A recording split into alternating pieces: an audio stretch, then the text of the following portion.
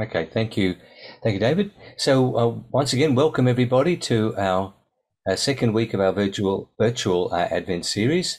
And it's lovely to have you back with us. And we had uh, some great interaction last week, and we're looking forward mm. to some more this week. So, uh, this week we're we're lucky to have uh, Mary Reaburn's in Scranton, Pennsylvania, uh, but she's online and live, so that maybe you might have some other questions from on the Psalms that you didn't weren't able to ask last week. But that will be an opportunity uh, as we come uh, work our way through the materials for this week. So as we begin, uh, as we do every every week, we begin by acknowledging the traditional custodians of the lands on which we gather today. Uh, I'm coming to you uh, from uh, Wurundjeri lands of the Kulin Nation. Uh, many of us come from many different places, and we, we acknowledge all our elders, past, present, and emerging from our Aboriginal brothers and sisters, and we, we pray that we might join our dreaming with theirs as we honor the ways that our living, our loving God has, has spoken to them, and uh, and we pray for that time when we will come to to honor their voice in in our country as we should. So just invite uh, Mary Reaburn to read our Advent prayer for us this week.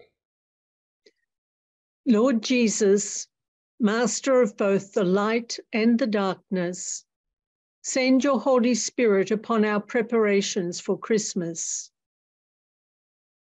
We who have so much to do seek quiet spaces to hear your voice each day. We who are anxious over many things look forward to your coming among us. We who are blessed in so many ways long for the complete joy of your kingdom. We whose hearts are heavy seek the joy of your presence. We are your people, walking in darkness, yet seeking the light. To you we say, Come, Lord Jesus. Amen. Amen. Thank you. Thank you, Mary. Uh, and now just hand over to David to to welcome us on behalf of, of uh, Garratt Publishing. Thank you very much, Chris, and uh, welcome everybody um, uh, far and wide. We've got people from Melbourne to Pakistan to Scranton, Pennsylvania. Um, it's very early in the morning, so thank you very much to Mary Reaburn for that little bit of extra effort. Um, waking up in uh, in the US to join us this week. Um, as usual, there's nothing for free, so I'm going to do a couple of little advertisements.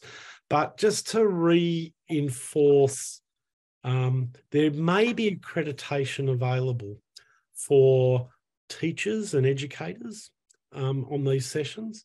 So to be able to get the professional development hours for these Advent sessions, please email sales at garrattpublishing.com.au with your name, your email, ideally the same email of the Zoom registration that you have, your teacher accreditation number, um, and your school name.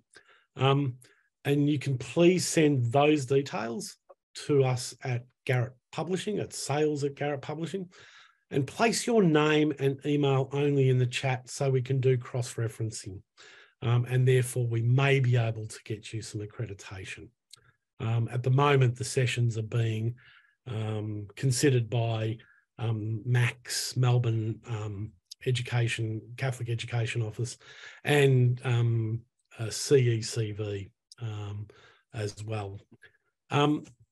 best way to support um, YTU is not only as Mary will do tonight, a little ad to seek donations, but please um, also support our authors' works if you haven't already. So they've produced some fantastic books for us, and they'll continue to produce some fact, uh, fantastic books for us as well. So Chris's See with the Eyes of the Heart, as I mentioned last week, is a fantastic gift. Um, uh, for yourself or for any of your loved ones. And it will give you some inspiration, some reflections that you can use through Advent or indeed throughout the whole year. Um, we've got the next one, um, Janina's Women in the Old Testament um, friendly guide um, is really a fantastic book. Um, so if you'd like to know, learn more about um, women in the Old Testament and get a more of Janina's flavour, um, then that's the book for you. Um, Chris, I think we move on to the book of Psalms, the friendly guide to the book of Psalms, which Mary Reaburn kindly did and we released earlier in this year. And again, it's a wonderful way to open up the Psalms in such a friendly, inviting, and mm-hmm. informative way. We've got um, Mary Coloe. I could I could promote many many Mary's books because she's done so many of them um, over the journey for us at Garratt Publishing. So the birth of Jesus um, is obviously the most timely. Um, uh, um, and so again, if you really want to open up the infancy narratives, um, uh, then that's the book for you. And I think there's uh, and a book that we encourage people to buy every year is Daily Prayer.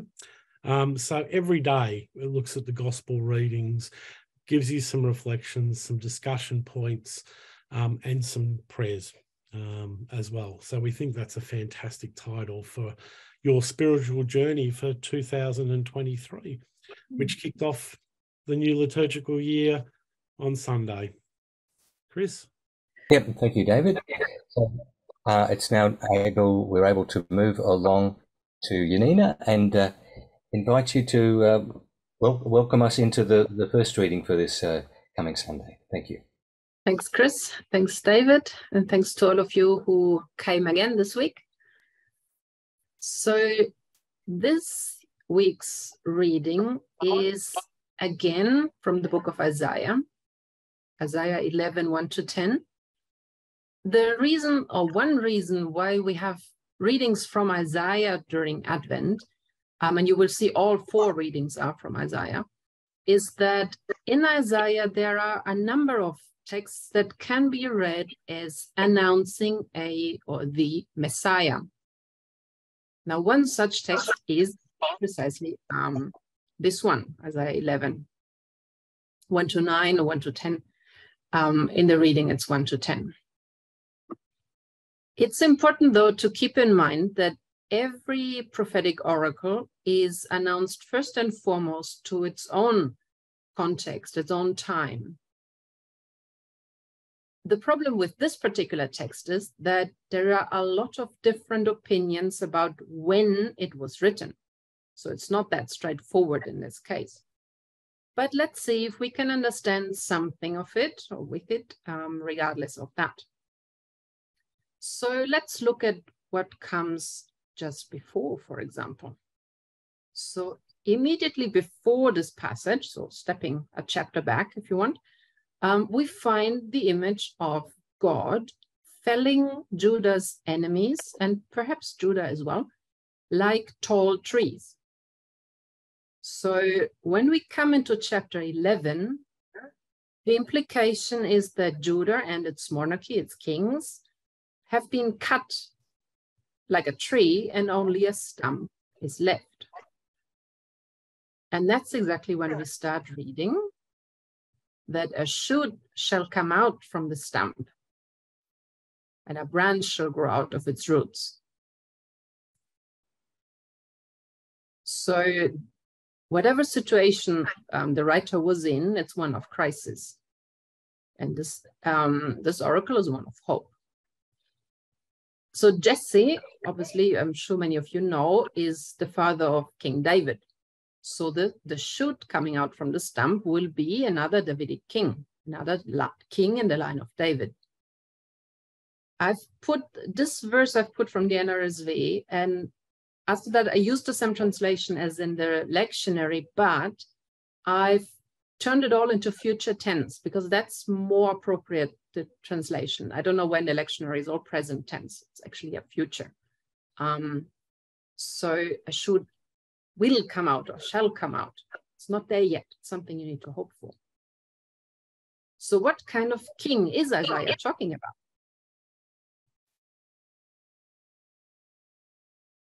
The first thing we learn about this king is that on him the Spirit of God shall rest, a spirit of wisdom and insight or understanding, a spirit of counsel and power, a spirit of knowledge and the fear of the Lord.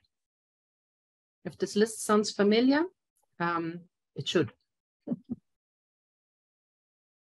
it's a very, um, they're very significant words. So let's have a bit of a look.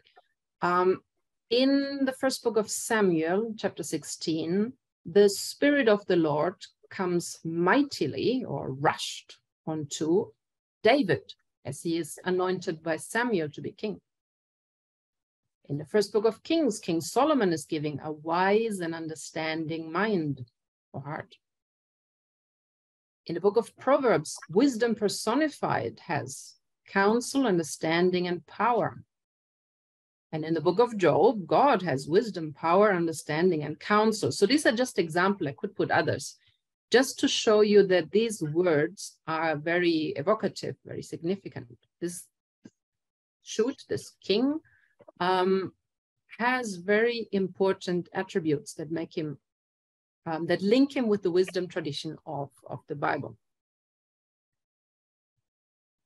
Knowledge also um, here, this knowledge doesn't um, refer to, you know, a good education, knowledge, things that you know, but it's knowledge of, of God is a, synon a synonymous to fear of the Lord in a way, or very similar. Um, and also fear of the Lord um, is not fear as in being afraid of God, but a sense of awe and respect towards God, which then, so both the knowledge of God and the fear of the Lord lead to a, um, some author called it socially responsible behavior. So because you fear God, you, you respect God, you hold, you hold God in awe, you lead a good life. Good in the sense of doing good things. So this is what this king is uh, going to be. What does he do? He will not judge by appearances, and give no verdict or will make no decision on hearsay. But he shall judge the wretched, the poor, with integrity, and with equity give a verdict for the poor of the land. His word shall be a rod that strikes the ruthless, and his sentences shall bring death to the wicked. Integrity shall be the loincloth around his waist, and faithfulness the belt around his hips also there you could you could talk forever about about this text. I just rushed through. Um, you you might have noticed that there are two verbs that get repeated: judge here and there, and give a verdict or make a decision. So they relate to courtroom judgment, like the, the king is a judge, um, arbitrating between um, parties in in that have an argument among them, but it also um, refers to government more in general. So the person we're talking about will make the right decisions because the Spirit of God is going to guide him like a GPS. He's got, you know, Google Maps in his mind and he knows what's the right thing to do. And there will be justice even for the poor, even for those who have no um, means to, to fend for themselves. After this, the scene suddenly changes. From verse 6 onward, we suddenly find ourselves outdoors and surrounded by animals and small children. In a very peaceful scene that has inspired artists, songwriters, and, and other people for centuries. Um, the wolf shall live with the lamb, the panther or leopard shall lie down with the kid, the calf and the lion cub shall feed together with a little boy to lead them. The cow and the bear, or she bear, shall make friends, and their young shall lie down together. And the lion shall eat straw like the ox. The infant shall play over the cobra's hole. Into the viper's lair, the young child shall put its hand, without being harmed, obviously. So beautiful scene.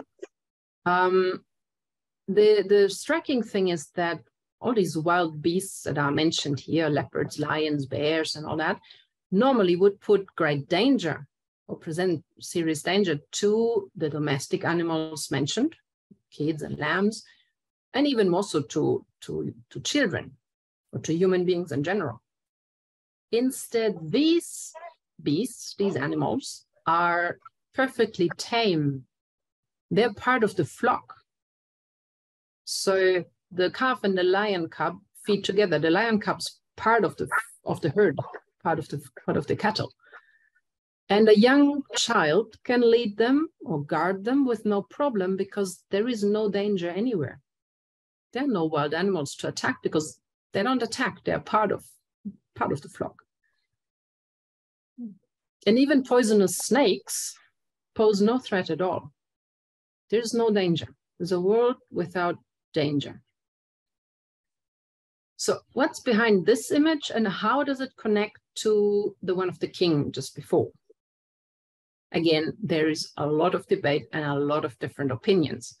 Um, for example, many commentators say that it refers back to an old myth about an ideal state of harmony at the beginning of creation that then got ruined by sin and other things, and, and that will be restored at some point. So that could be. It's not a myth that explicitly is present in, in Genesis, but could be there are um, others in, in the surrounding cultures. But others, and that's one I, I picked to, to tell you about, um, others point out that the focus in this scene isn't so much among about peace among the animals. It's about the safety and security for the human beings. So no flock will be lost, no cattle will be lost to wolves or lions because they are tame. No child will be harmed by them because they are tame. In some other prophetic texts, wild animals are portrayed as a danger either to do with curses or wild animals are used as a kind of metaphor for dangerous humans. For example, don't get scared here.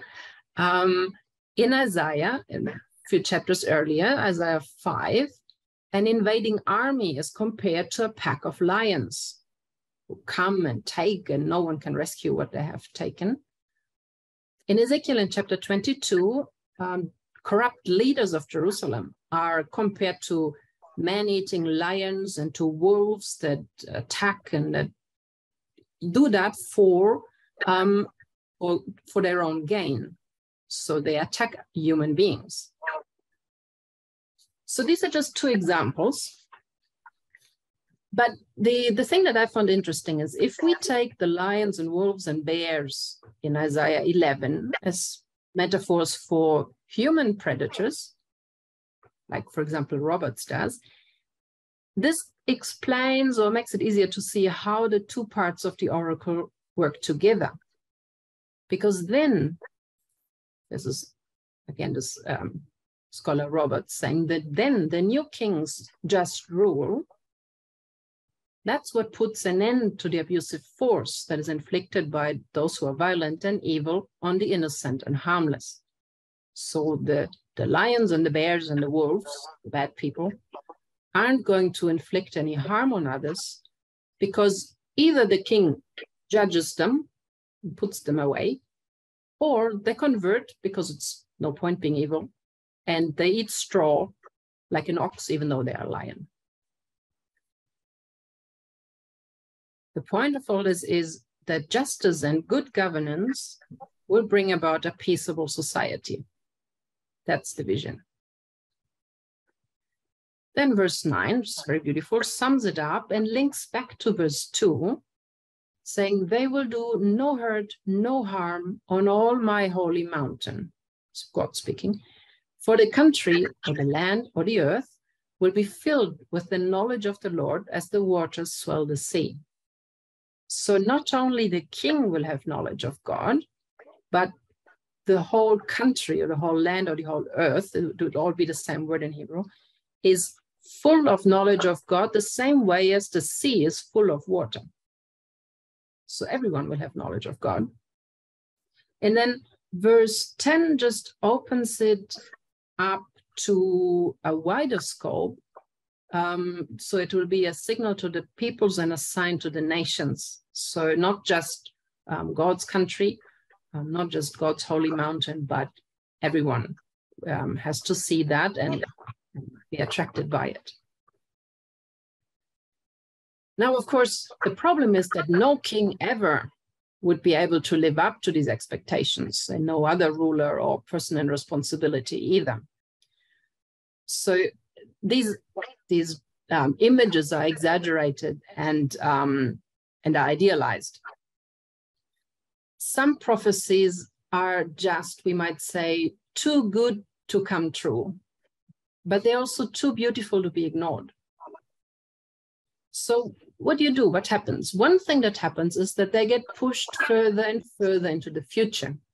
Oh well, now this king didn't quite make it, but maybe the next one, or maybe maybe Cyrus, maybe the Maccabees, maybe, or maybe at the end of time, God will look after it, and God will send us His anointed one, the Messiah, and then that will bring about this peaceable society. Isaiah 11 was read in a messianic key already before Christianity, but then, of course, the early Christians, the patristic, the, the fathers of the church, medieval theologians read it in a Christological um, note, or like as if like portraying Jesus. And that's where we get um, um, the innumerable um, artworks of the tree of Jesse from our Jesse tree. Um, there are many, many, many examples all over the place um, in, in Europe, but not only. So you have always Jesse at the bottom sleeping, being dead, and a tree growing out of him with often David. Then there's Mary somewhere, and on the top there's Jesus. Here's Jesus enthroned. On this example, it's Jesus on the cross. But it's the continuity of um, the old and, and the new covenant, if you want. It's an art form or it's a, a motif that has that was very popular in in art in the middle ages. Now what about us? So in advent we wait for the messiah to appear and for god to change the world. But then as i was preparing this i thought hang on wait a minute haven't we all received in our baptism and confirmation those same gifts of the Spirit of the Lord, as does as this Messianic King. That list, when I, before when I said, does it sound familiar? It should, because the seven gifts of the Holy Spirit come from that list, among, among other places. Wisdom, counsel, um, knowledge, um, or all of these things. Don't we have those? Don't we have, to some degree, knowledge of God? and entering more deeply into the word of God, like we are doing just right now, nourishes that. So, what do we do with it? Maybe a good Advent question that we could ask ourselves this week, that I'm asking myself after doing this, is where and how can we use those gifts that God gave us, our wisdom, our counsel, our sense of awe, our what we know, how can we use that to bring about a little bit more peace around us? We're not kings, we don't rule over country, but we all have some influence on other people. Then, of course, the theme of peace and justice continues over into the psalm. So they're really nicely collect, connected both last week and this week. So this is where I hand on to Mary Raven. Thank you. Let's stop sharing. Thank you, Janina. Yes, they do. They connect very, very well. The um, as I usually say, the the psalm links the first reading and the gospel very well, and it does again uh, for this coming Sunday of Advent. So we have um, the refrain for the psalm when justice flourishes. And there's something of that invitation as we enter into this Advent season. So the, the shoot of Jesse, the offspring of Jesse, will ideally introduce a time where the wolf, wolf lives with the lamb, where we have that harmony that Janina spoke about so beautifully. Uh, our psalm is a prayer for a just and, if you like, perfect ruler. Uh, in Romans, um, part of that harmony is that all will give glory to God. And then in Matthew, we have John the Baptist pointing to Jesus as introducing that, uh, that harmony. And the early Christian community learnt that that wasn't fully realized in the first coming of Jesus. And so we, we wait for that second coming of Jesus. And sometimes Jewish friends will say to me, You say the Messiah has come, but we don't see this uh, perfect harmony that the Messiah is to introduce.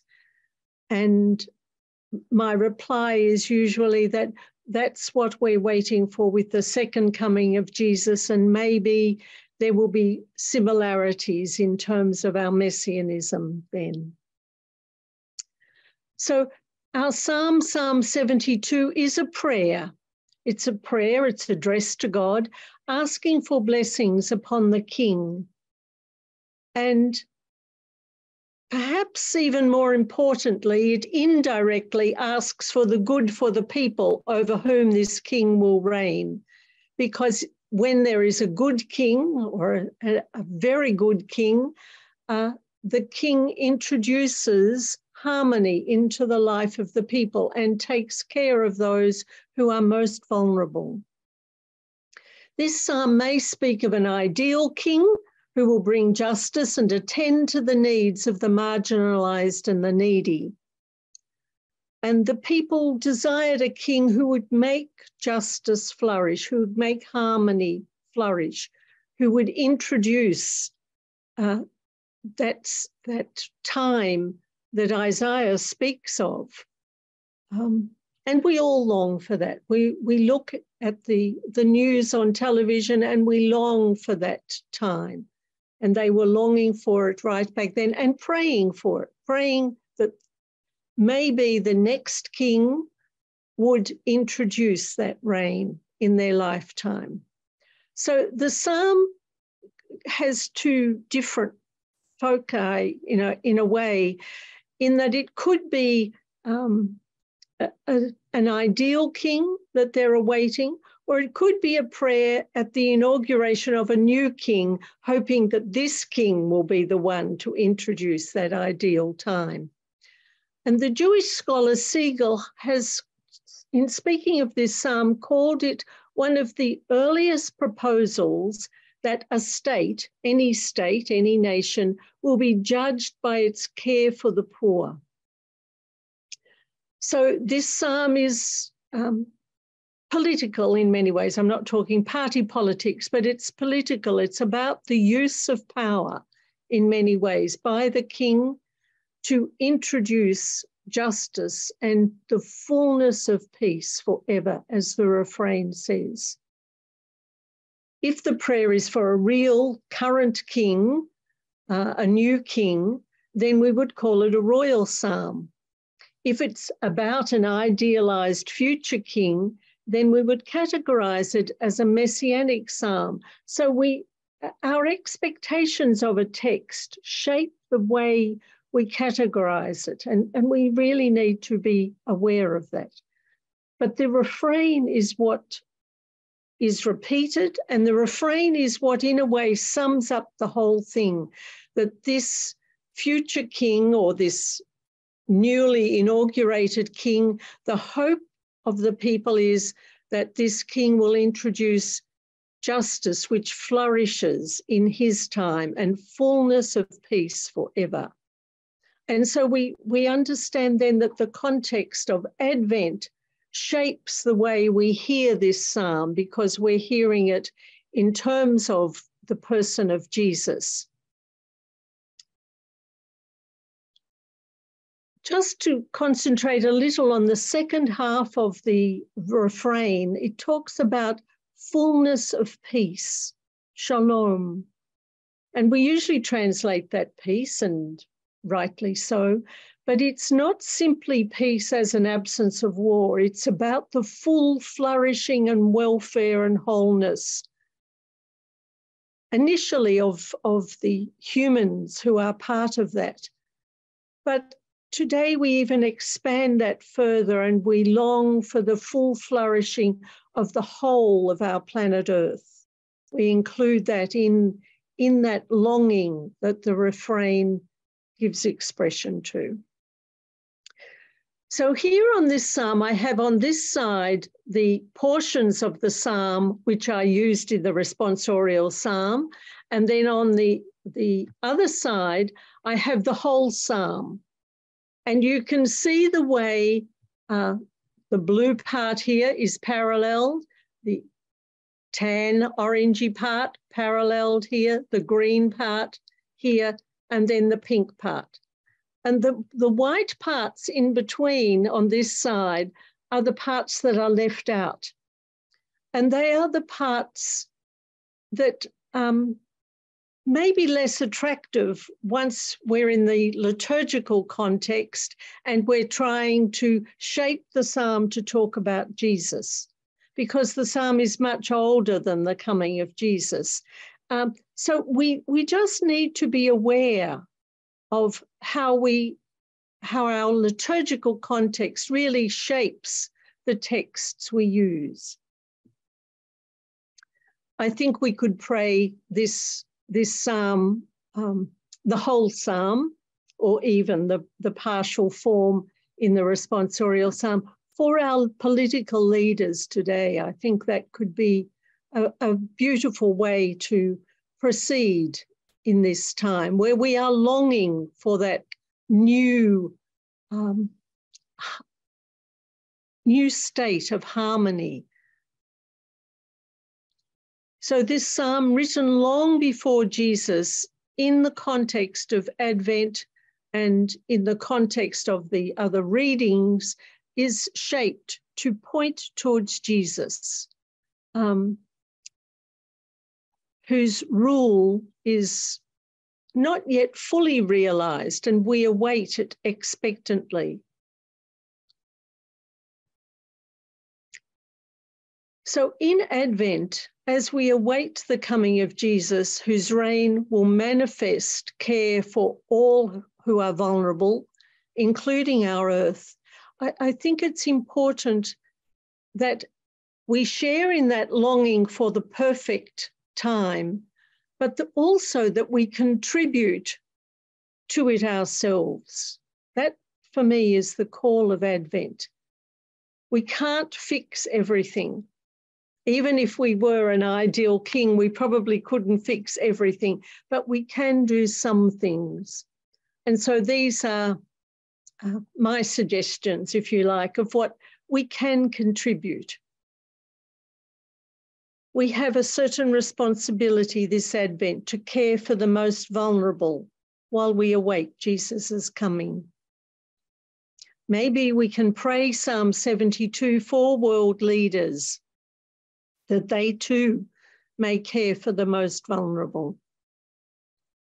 We can pray with Jesus for the coming of such a kingdom at a time that at least is more harmonious than the time we witness at the moment.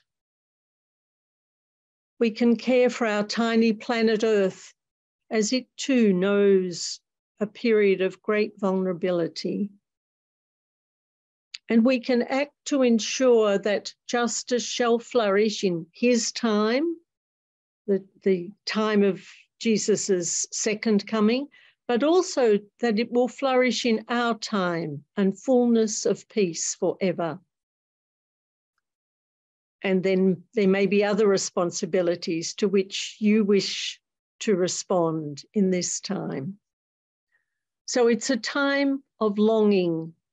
It's a time when we recognize that justice is not yet fully established and that peace is not fully flourishing, but we long for and contribute to that time.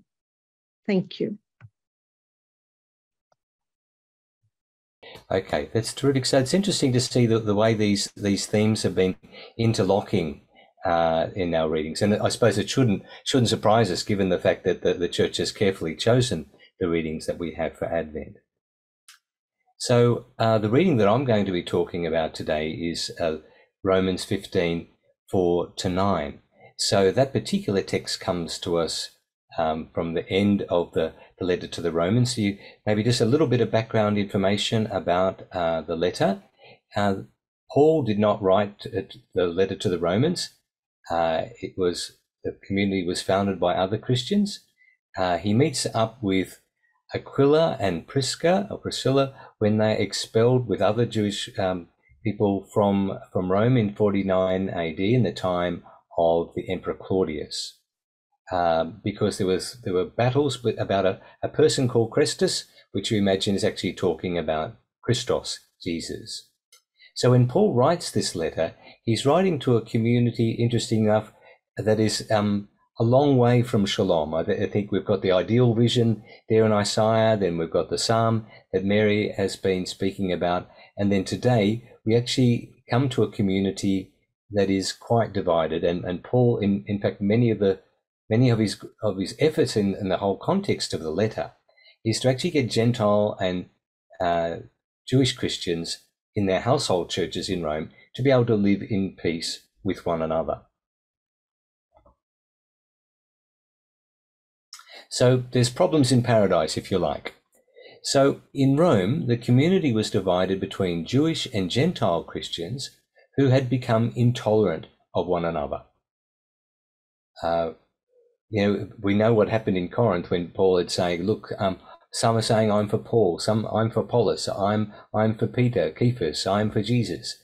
Um, so it's it's probably encouraging in a way for us to realize that even in, in the early years of the Christian movement, uh, people were not in shalom with one another. There were divisions, there were um, misunderstandings, there were sometimes lack of trust for one for the other. And so we know that there were factions among the household churches. If you have a look at Romans 16, you'll have a, an opportunity to see some of the, the names of the different household communities there in Rome. So, from what we can pick up from the letter, um, Gentile Christians accused Jewish Christians of following an outmoded religion. Um, and Jewish Christians accused the Gentile Christians of lacking respect for the fact that Jesus and the first disciples were Jewish. So, uh, has already spoken in terms of the Jesse tree and continuity. Uh, but we know, like for the, the Gospel of Mark, um, that this continuity was very strong. Uh, it was written largely for a Gentile community, and the tradition has it was written in Rome. Um, we, may, we, we can't be totally sure about that, but we, we can see that there's this movement in the in the Gospels uh, to deal with a Gentile future. It looks like what one of the things that was going on in Rome is the Gentile Christians had um, when when Jewish Christians had been expelled from the city, Gentiles Christians came in. They weren't going to be trouble to the Roman authorities because they weren't fighting with with the Jewish community. They grew, but eventually Jewish Christians came back to the city. And that's where the problems started. So Jewish Christians suggested that everyone follow the Jewish practices, particularly for admission into this uh, into this messianic movement, because Jesus was the Messiah.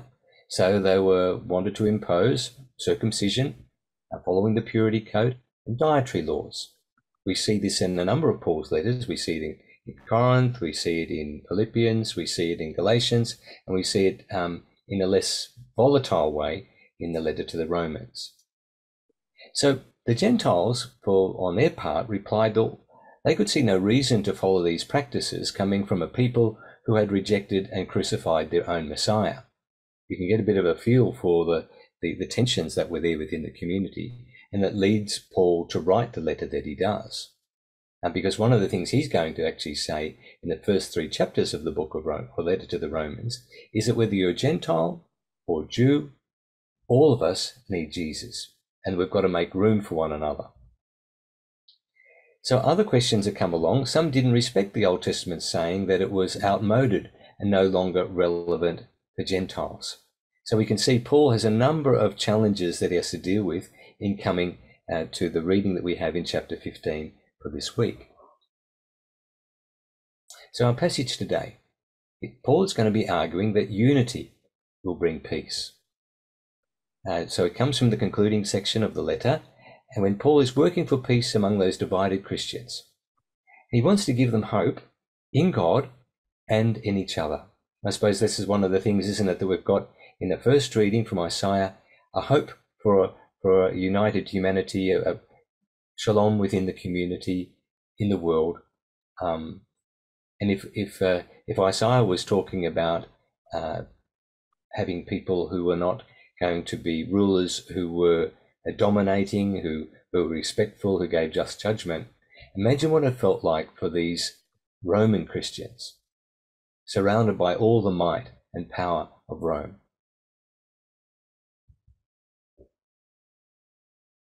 So we'll take a, passage by passage through uh, what we've got for today. So everything that was written long ago in the scriptures was meant to teach us something about hope from the example scripture gives of how people who did not give up were helped by God.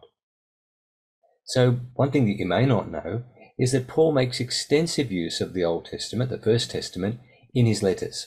So just in terms of Romans alone, he makes use of many texts. He cites the Psalms 13 times. He cites the Pentateuch 22 times. Uh, he, cites the prophets 24 times, and Isaiah is definitely his favorite. Uh, the book, first book of Kings, and Job. So we can see Paul is drawing on his own tradition to try and draw these uh, Christians, be they Gentile or, or Jewish, together.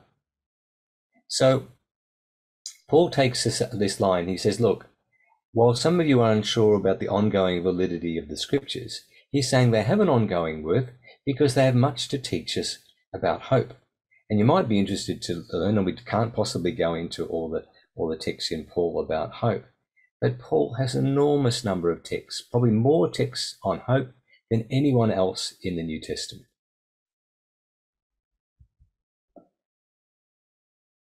So I thought I'd just get a couple of texts from Romans itself just to give you uh, a, sample of that. So therefore, since we are justified by faith, we have peace with God through our Lord Jesus Christ, through whom we have obtained access to this grace in which we stand. And we boast in our hope of sharing the glory of God. And not only that, but we also boast in our sufferings, knowing that suffering produces endurance, and endurance produces character, character produces hope, and hope does not disappoint us, because God's love has been poured into our hearts through the Holy Spirit. It's interesting, Janina has already pointed out um, what the vision of the gifts of the Holy Spirit that um, the New Testament or the church has taken over from Isaiah. Another text later on in Romans, a beautiful chapter. Um, chapter 8 is an extraordinary um, witness, I think, to how the early Christians saw themselves in a in a world that was groaning to give birth, huh? Uh, and as we, we long for peace in our world, in the midst of all the anxieties and stresses and strains of our world, we wonder where is God in the midst of this and how, how is God at work? Well, Paul, part of Paul's response is that we know that the whole creation has been groaning in labor pains until now. And not only the creation, but we ourselves, who have the first fruits of the Spirit. So for Paul, the gift of the Spirit was a, a guarantee that God would be faithful to God's promises and that Jesus would return. So we groan inwardly while we wait for adoption, redemption of our bodies. And certainly, I think this is a, a, a, sense, a sensation, an experience that, that most of us have somewhere along the line, maybe many times in our lives. Longing for the world to be more peaceful, longing to be more at peace in ourselves, longing to be the Christian that we're called to be. One of the things that Paul reminds us now, for in hope we were saved. It's not just our hope, it's God's hope in us. Because God always opens a new possibility, always graciously gives us an opportunity to begin, to begin again. So where were we in the meantime? Well, now hope that is seen is not hope. For who hopes for what is seen? But if we hope for what we do not see, we wait for it, wait for it. We're all called to do that. So Paul goes on in our reading for next Sunday. And may he who helps us when we refuse to give up help you all to be tolerant with each other, following the example of Christ Jesus, so that united in mind and voice you may give glory to the God and Father of our Lord Jesus Christ. This idea of being tolerant with one another, being actually sources of consolation for one another. So Paul sees it in a very interesting way, and it picks up on what we've the challenge that Mary has already put before us, uh, put before us today about it's not just what God is doing, but what are we doing? So for Paul, Christian hope leads to tolerance, and it leads to care for those who are different to us, and we can see the church is really battling with that in these days. Mm-hmm. Being tolerant, not just being politically correct, but actually making room for everybody. So there's no room for thinking only about our personal salvation. So holiness without wholeness is not holiness at all. It all has to be put into right relationship.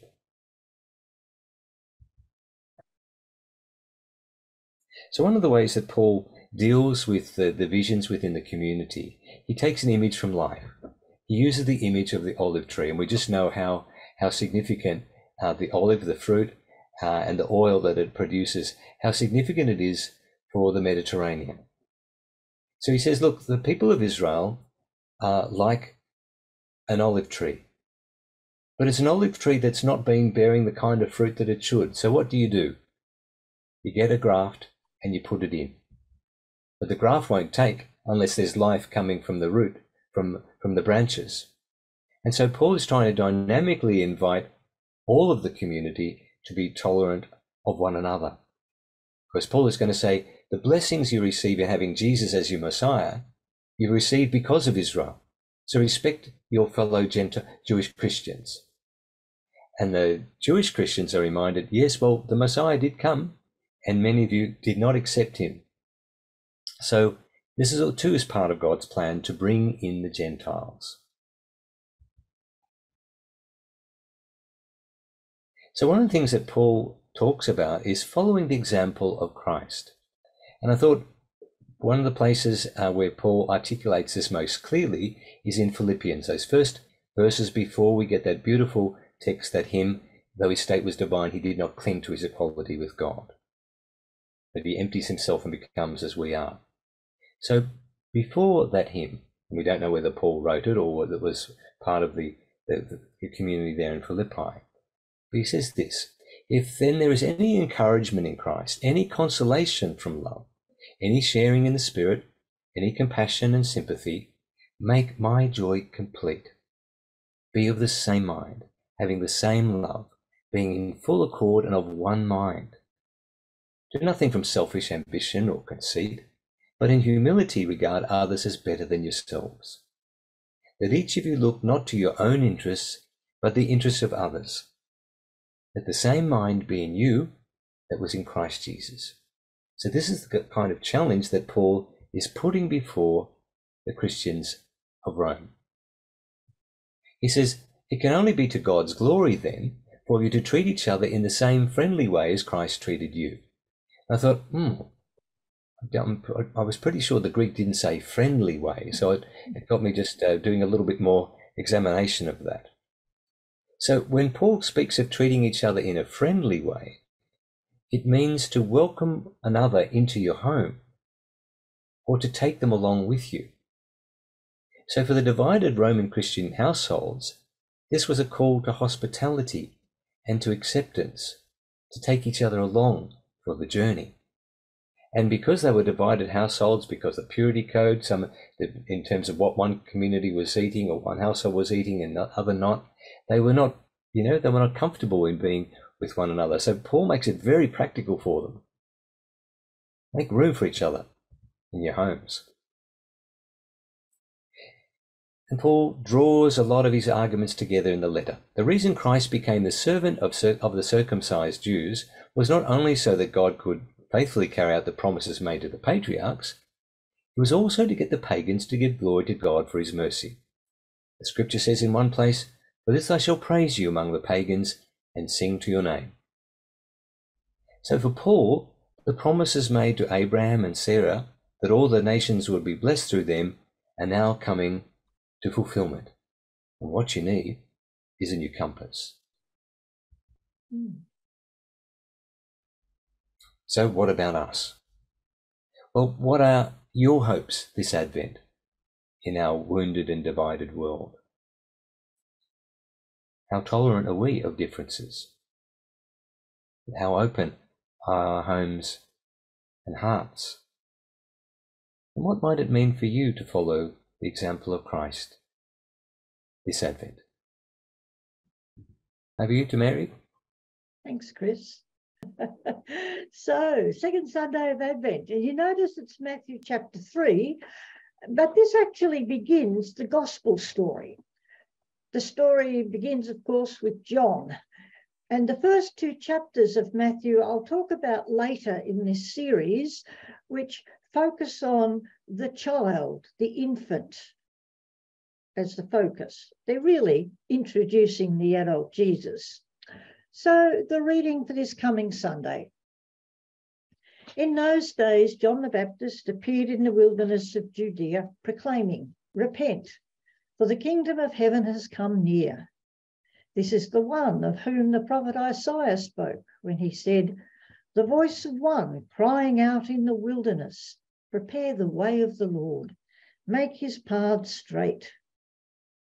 Now, John wore clothing of camel's hair with a leather belt around his waist, and his food was locusts and wild honey. Then the people of Jerusalem and all Judea were going out to him, and all the region along the Jordan, and they were baptized by him in the river Jordan, confessing their sins. But when he saw many Pharisees and Sadducees coming for baptism, he said to them, You brood of vipers, who warned you to flee from the wrath to come? Bear fruit worthy of repentance. Do not presume to say to yourselves, We have Abraham as our ancestor. For I tell you, God is able from these stones to raise up children to Abraham. Even now, the axe is lying at the root of the trees, and every tree, therefore, that does not bear good fruit is cut down and thrown into the fire. I baptize you in water for repentance, but one more powerful than I is coming after me. I'm not worthy to carry his sandals. He will baptize you in the Holy Spirit and fire. His winnowing fork is in his hand, and he will clear his threshing floor and will gather his wheat into the granary, but the chaff he will burn with unquenchable fire. Now, last week, I hope you remember that I spoke about the strong sense of expectation in Judaism in that first century. Things are so bad, they can't get any worse. And therefore, God must be coming to save us very soon. This is the idea that lies behind John's proclamation. The kingdom of heaven has come near. This was John's conviction. And he quotes from the prophet Isaiah prepare the way of the Lord. Isaiah was preaching at a similar time when Israel felt completely defeated. Surely now God will act. John's preaching attracted crowds. He had a strange appearance and he had the manner of one of the ancient prophets. So people were curious. John calls out, repent, have a change of heart. Time is running out, so take God seriously. So This is the message. This is the message. Take God seriously. He then speaks to part of the crowd. Now, the Pharisees and Sadducees were not wicked, they weren't bad people. They were very religious people. And the Pharisees were a bit like me and Janina Mary. They were lay people, serious and fascinated with the scripture and wanting to be teachers. The Sadducees were more aligned with the priesthood and its temple cult. They too hear the strong criticism of John you brood of vipers.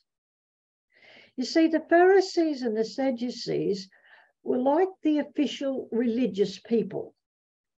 And John attacks them for being self righteous. You know, they sort of puff their chests out and say, We have Abraham as our father. We have God on our side. John thinks differently. It's not keeping the letter of the law or practicing worship perfectly that counts.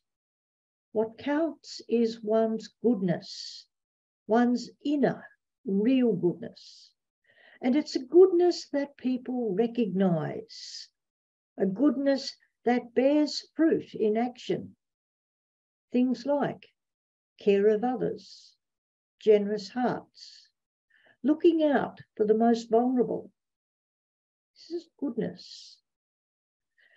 John asks people to step into the waters of the Jordan, but he speaks of another who will invite people into the life of the Spirit. And this one can see into the hearts of people to know their true goodness or not. And John uses the image of dividing the grain into seed, the good kernels to be saved, and the worthless chaff to be tossed away. You know, I often wonder about John. If John turned up in my church this Sunday, what would we make of him? Would we smile at his delusion? Be embarrassed by him? Be angered that he's upsetting our normal religious routines. We might say, You've got to be kidding. Give more taxes to help the vulnerable? No way. Oh, he's not living in a real world. You see, John's questions cause discomfort. And if John caused discomfort in his time so much that he was thrown in prison and executed, John preaches the coming of God. Nothing about him is attractive. The environment is the harsh Judean wilderness. His clothes and food are bizarre, and his message, repent, is hardly an advertising slogan. And yet, people come to him from Jerusalem, Judea, and the whole of the Jordan district. You see, even though John looks weird, people recognize truth. It may not be attractive. Some may prefer to avoid it, but we can't fully hide from the truth. John speaks to the truth of God. God is near. God is coming. Is your life open to receive God or not?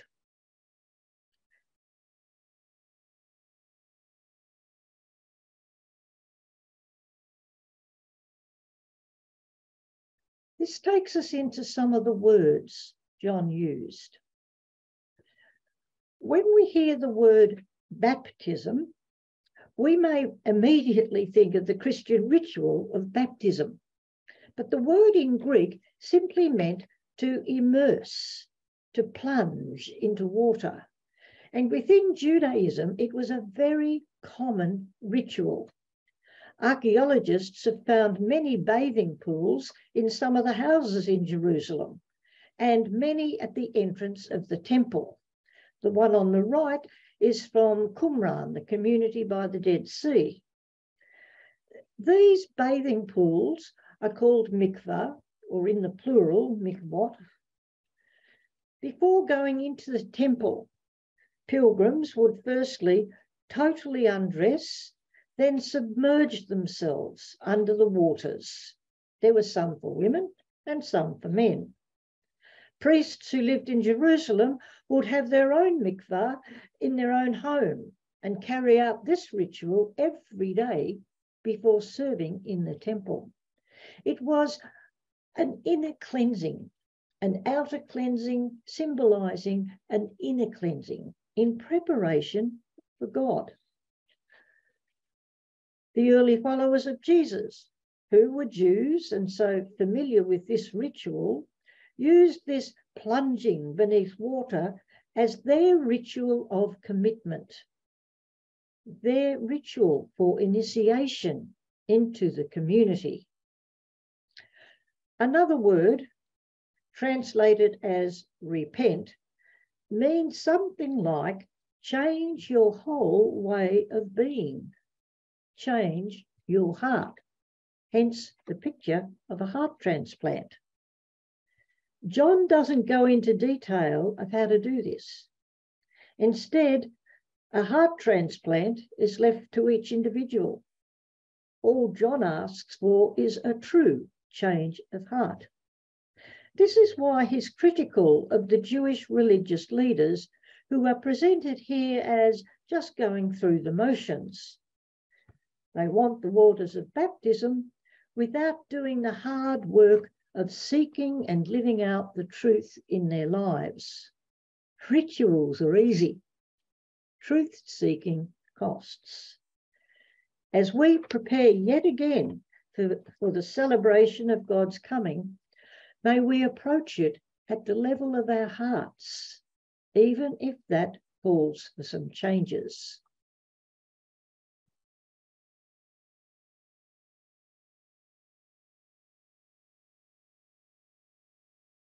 Wheat and chaff. Have you all be already begun the mad Christmas rush? Can you see yourself in the image at the right? But I wonder, is it really necessary? If you are really too busy, will you ever have time to pause, to let God catch up with you?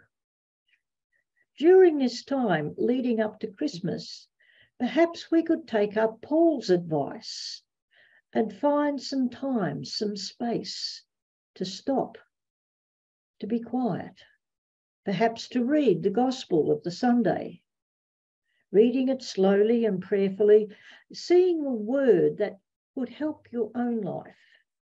In what way could you prepare for the Lord in your family, in your life?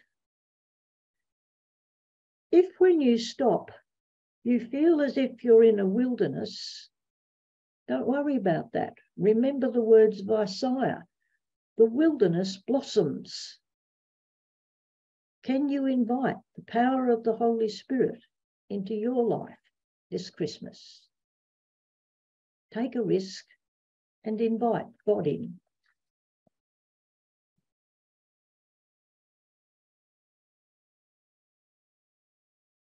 Now the ads.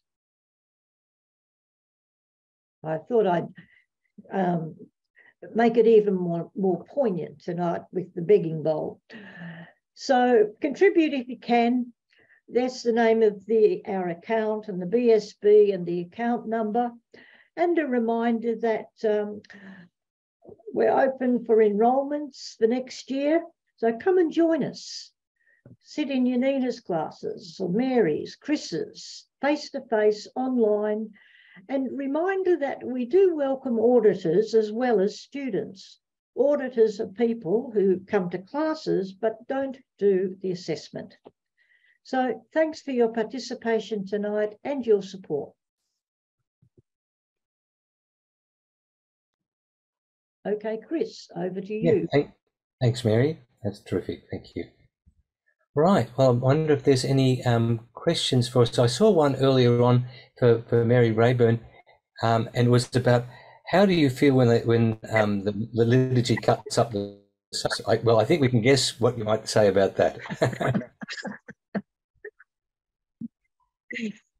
I I I understand that it's it's important at times because the psalm can't be too long. And I mean, if we had Psalm 119, which is the longest one, there would be no time for the other readings. So I, I understand that liturgy has certain requirements. And yet I always um, I always have a little moan when they cut the psalms up. So I I think what my compromise is that I read the whole psalm beforehand and then listen to the the parts during the liturgy.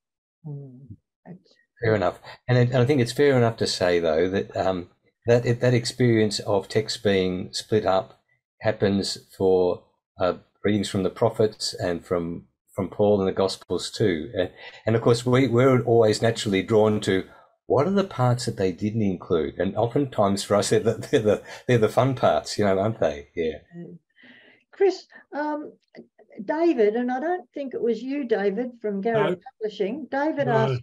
I, I don't need to ask intelligent questions. well, this is, this is an intelligent question uh, and uh-huh. it's a rich question. Is it possible to understand the text? He's referring to the text from Isaiah, Janina as not only referring to our outer life, but our inner life.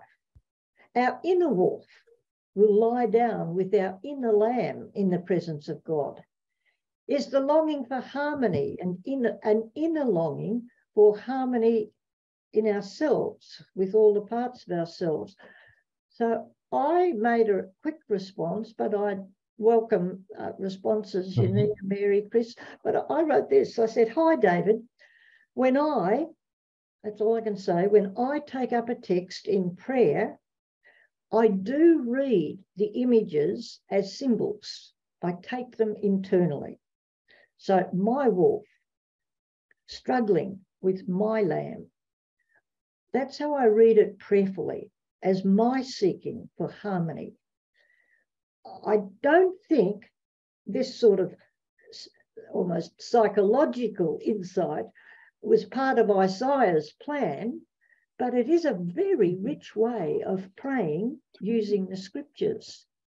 Hmm. To exegete them, you know, that's what we do in our work. But when I sit down to pray, I enter into them in whatever imaginative way I can. Others? Hmm. Yeah, I, I think that's right, uh, Mary. I think it's it draws it draws us to a really important part is that um, there are multiple ways of reading the scriptures. And I think we're already talking in terms of the world behind the text, the world in the text, the world in front of the text.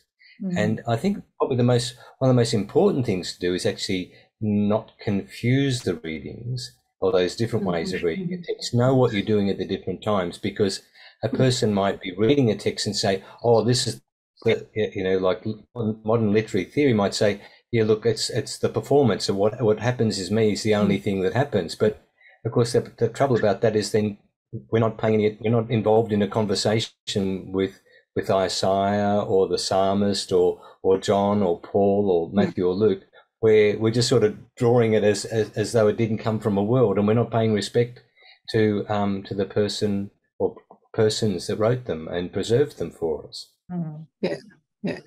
So yeah, no, you're right. I mean, of course, you can read it um, that way, uh, David, and, and, anyone else. Um, and and of and I and there, there's great riches in that, as as Mary just said, and also Chris. The the thing with prophetic texts, though, is they are always not just one person. They are always pointing to a society or to to several people, to a group, country or whatever whatever group you want to imagine. Um so it's not it's it's also your inner harmony and your and i like that. I, I can see i can imagine the whole whole lot of happening in me. Um and it, it, it would be very rich to explore. But that harmony within me that i long for i long for that also because with that in me i can create harmony among the people i am with. Because if i'm I don't have harmony within me, I'm not going to create much peace outside of me usually. So, so it's both. Um, it's a call within ourselves, but it's also always looking outward and seeing what what happens there. Um, sometimes we tend to maybe um, conditioned by by our society to see things in an individualistic way. Often the Bible has more uh, there's a group. There's not just me. Mm. so, yeah. Communion, yes, that, that mm. would be the word. I, I think that's really true, Janina. I think the the the communal feel that you get from well, especially the First Testament, but also from the New Testament, mm. it, it, belongs to a society which was much more aware of the community to which it belonged. Mm. And we, we do live in an age which is more that, that the harmony can't be about internal harmony as well. But I, I think there's always, we need to hold both because we live within a society. Mm. Thanks, Mary. Mm. that, that's right. We've got a, um, one last question there about gurus. Well, I hope that that's all of us. Very good. Um, prior to International mm. Post, how might Paul's letters and other extracts of Scripture made their way to the different communities?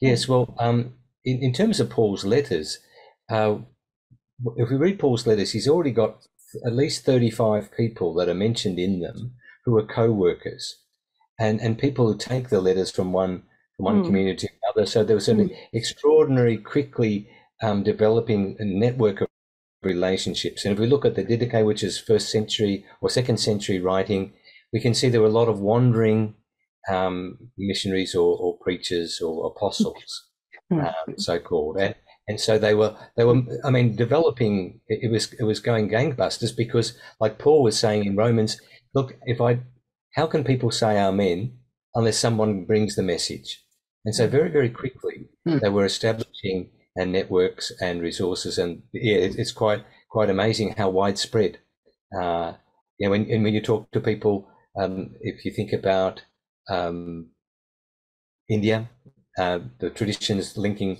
Syro-Malabar went to, to Thomas and, and otherwise. They, they moved around, that's for sure. Mm. Like, like the Cobb and Co coaches. Yeah, yeah. It passed on and on and on. I reckon the the unsung heroes of the New Testament, certainly in the letters of Paul, are the people who actually delivered his letters and actually had to sell them to the communities at the other end. Uh, Here it is. I'm going. Run for your life, you know. Yes. Don't read it. I'm gone. Yeah. Well, Chris, I'm very conscious of time. Yeah, we, we, we, indeed. Thank you, David. It is quarter past, and we we just um we just enjoy ourselves so much. well, uh, people uh, people also enjoy um, immensely uh, the each night uh, and each of your talks. They open up the season so beautifully, and um, you know the reassurance around hope. Um, is very powerful, I think, at the moment, uh, given everything that's going on. Whether it be Ukraine, eh, it doesn't matter what year, there's always conflict, there's always struggle, um, but uh, there is always hope uh, as well for the people in the Ukraine, the people, the men and women, but particularly women in Iran um, and other countries. Um, so the message of hope um, and uh, uh, we look forward to Jesus Christ's uh, arrival again um, soon. Um, and certainly we look forward to the 25th um, of December, which is coming up very quickly. So thank you very much, everybody. Uh, we look forward to coming back and doing it again. Yep, we'll see you next week. Yep. Um, safe travels and and thank you, uh, Mary, for your early morning um, efforts. We're getting lots of thank yous through the chat. Um, and uh, Janina and Mary and Chris, thank you very much uh, again for this evening.